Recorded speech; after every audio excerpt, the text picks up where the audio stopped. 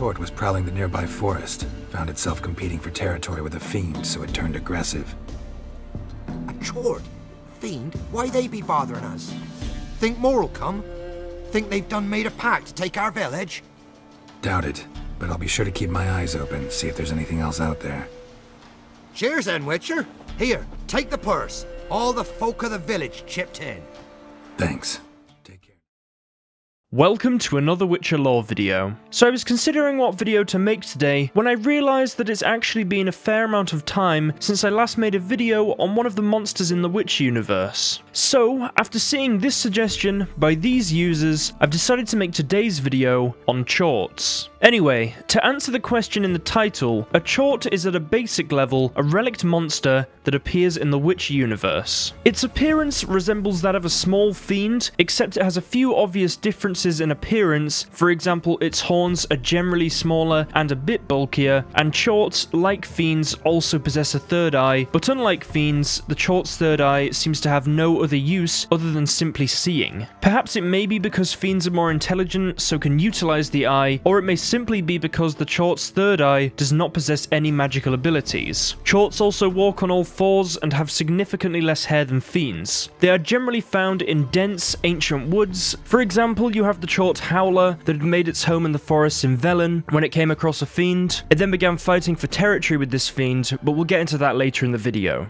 And I've already said some of the similarities between Chorts and Fiends, but it's thought that Chorts and Fiends are actually related in the Witcher universe. And Chorts, like Fiends, are also thought to be related to Bumbakvetches. Chorts are very strong, and among the class of Relict, their strength is only rivaled by that of their larger kin, the Fiends. Whilst going after their prey, or fighting, Chorts use this great strength to their advantage by using their arms to claw and crush their opponents. They are also able to charge at great speeds, catching their opponents off guard, but the downside of this ability is that Chorts are unable to control themselves at such speeds and can end up missing their opponents entirely. But should they make contact, it can cause devastating damage to their opponents. Chorts also possess a regenerative power which allows their bodies to be healed from almost any wound at a quick pace, and if you ever come into contact with one of these creatures, the best course of action would be to attack them from the side, as a face-on fight with these creatures is not an option, just due to how strong they are. It is also a good idea to wait for them to charge and then roll out of the way. This way, the Chort will most likely charge into something else and briefly stun itself, and that will allow you to get a few hits in. Another tactic is to use the Devil's Puffball Bomb to poison the Chort, as the toxic fumes of this bomb are quite effective. You could also use Igni, as although Chort's not especially weak to fire, if the Chort actually catches fire and begins to burn, it will take a lot of damage. If you can defeat one of these creatures in The Witcher 3, they can drop up to three items. These items being Chort Hide,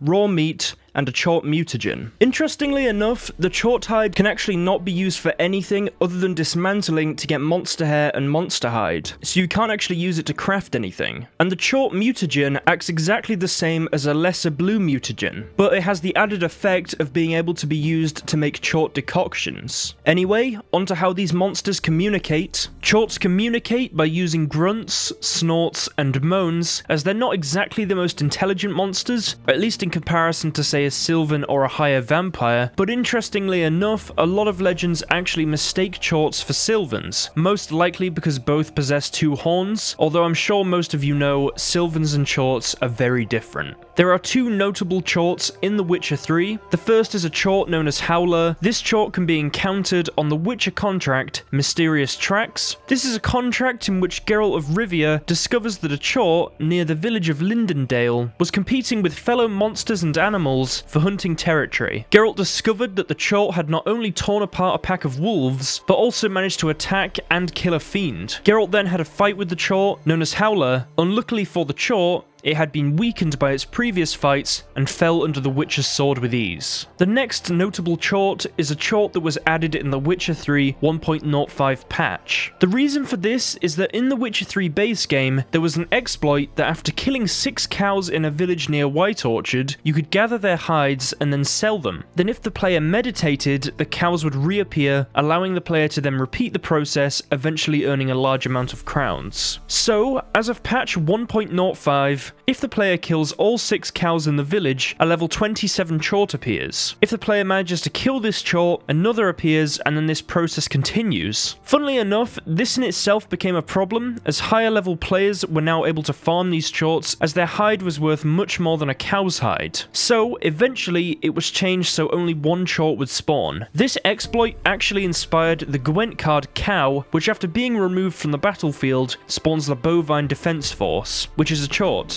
As for a lore reason as to why these chorts appear, you could just say that there is a large concentration of chorts in the area and they come out of wherever they're hiding after the cows are killed and then their fellow chorts are killed. There is another chort in The Witcher, although it's not particularly notable. This chort can be found whilst doing the Berengar Blade quest. It is just a simple chort located downriver in the valley near Kaer Morhen. Anyway guys, to end today's video, I'm going to read a bit of trivia and then the journal entry of this monster. As for the trivia, in the real world, a chort is a demon that is quite famous in Slavic folklore. It is effectively a pagan devil. Now for the bestiary entry, chorts are smaller than fiends, true, but still big enough to kill. Agnes Thistle, herbalist from the Black Forest. Chorts are the somewhat smaller kin of fiends, and Bumbakvetches. Yet any witcher who thinks their diminutive stature means they present no danger commits a grave error, the kind that can end his career permanently. These denizens of dark and ancient woods are some of the most dangerous monsters known to man. Legends often mistake chorts for sylvans, ascribing to them the ability to speak, stand on two legs, gobble up cabbage, play pranks, and work mischief around the household. The arrival of a true chort in a region soon puts an end to such tales. The creatures do not speak, at best communicating with each other through grunts, snorts, and moans. They get about on four legs, and as for their mischief, they destroy farmsteads, devouring anything that can be devoured, including cabbage, if such is available, but also extending to poultry, pork, the family dog, and then the family itself. Chorts fight with little finesse, running straight towards their opponent and trying to knock him to the ground with the force of their charge. After downing their foe, they bite, kick, and strike with their claw-shaped paws. Due to their size and four-legged posture, they are mostly unperturbed by the force of the Ard sign, and the regenerative power of their body allow any wounds they receive to heal at a rapid pace. Anyway guys, I hope you've all enjoyed today's video. This has been quite a fun one to make. I think chorts are an interesting creature in the Witcher universe. Honestly, we don't meet that many. They seem fairly rare, but I'd say they're still less intimidating than a fiend, although they are really strong. As always guys, if you've enjoyed today's video, be sure to like it. It really does help out the channel and it's very kind to do. These videos take me a long time to make and the like button does really help, so thank you to every single one of you that likes the video. I really appreciate it. Also, if this is the first video you're finding on my channel, be sure to subscribe. I do Witcher lore videos every few days. I've started my Witcher 3 playthrough recently, so be sure to watch that. You can get that every week. I'm currently doing a Red Dead playthrough. I'll also be doing some Witcher Netflix news when stuff comes out that I want to make a video on, so be sure to subscribe for all that. Also, be sure to follow me on Twitter. I put stuff on there whenever anything interesting's happening with the channel, or say if there's news about the videos, or the Witcher Netflix, or just stuff to do with the Witcher, or other series I like. I also put pictures on there when I just want to show you guys stuff. So if you don't want to miss any of the polls I do on there, any of the information I share with you guys, I'd recommend going and following me on Twitter. Also, be sure to follow me on Twitch. I'll get back to streaming soon. I actually did a stream the other day of just some random stuff. I played a little bit of Thronebreaker. If you guys want to make sure you don't miss those streams, be sure to follow me on there. It's fairly random at the moment, but if you follow me on there, you'll get the notification for when I do go live. So thank you all for following me on Twitch. Also, be sure to join the Discord and Reddit. Everything I talk about in this outro is down in the description, so if you want to follow me on anything or join the Reddit or Discord, be sure to check down the